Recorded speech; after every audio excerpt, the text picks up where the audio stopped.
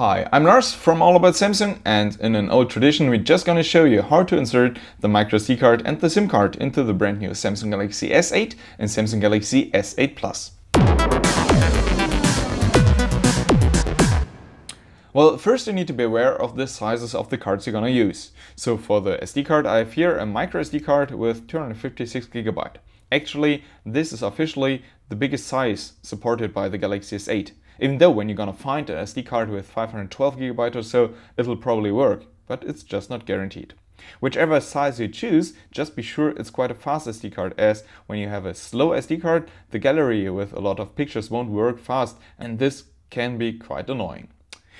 For the SIM card I have here a nano SIM card, which is actually the smallest SIM card size available. If you have a bigger SIM card, just be sure you get it cut it to the right size. This is not a big deal.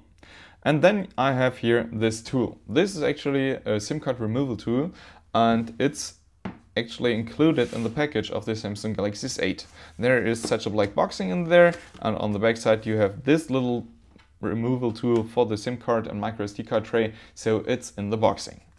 Then you need to be aware of the place of the SIM card and microSD card slot. It's on the top of the device, it's over here. You see there's a rounding on there and there's a little hole.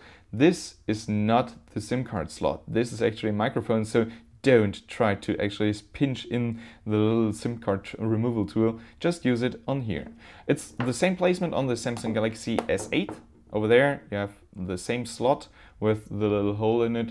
And then you just need to pinch the removal tool into this little hole and then a little slider comes out.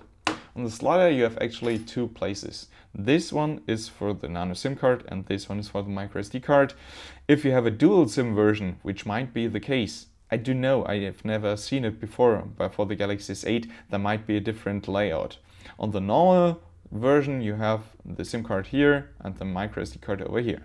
The SIM card needs to be placed like this with a little edge on the top left corner and you need to be aware that's on the same level as the rest of the slider and the same is for the micro SD card so you just we need to put it in there then it gives you a little click sound and then the micro SD card is in. Actually be sure that it's now perfectly fitted into the slider. Otherwise, it might block and actually damage your device, which is an 800 or 900, 900 euro phone. So actually, when you put them in correctly, they won't fall out easily. After you put them in the slider, just put the slider back into the device. And actually, when you switch on the device, you have a little notification that the slider isn't closed. So when you close it right now and put it incorrectly. after you put in the microSD card and the nano SIM card, you just can go to Samsung My Files folder and there you're gonna see the internal storage of 64GB and the SD card with a size of 238GB. So this was it, it is quite easy. Thanks for watching, we're gonna do other videos of the Samsung Galaxy S8 and S8 Plus as well, so be sure to follow us here on YouTube. I'm Lars from All About Samsung, see you next time, bye.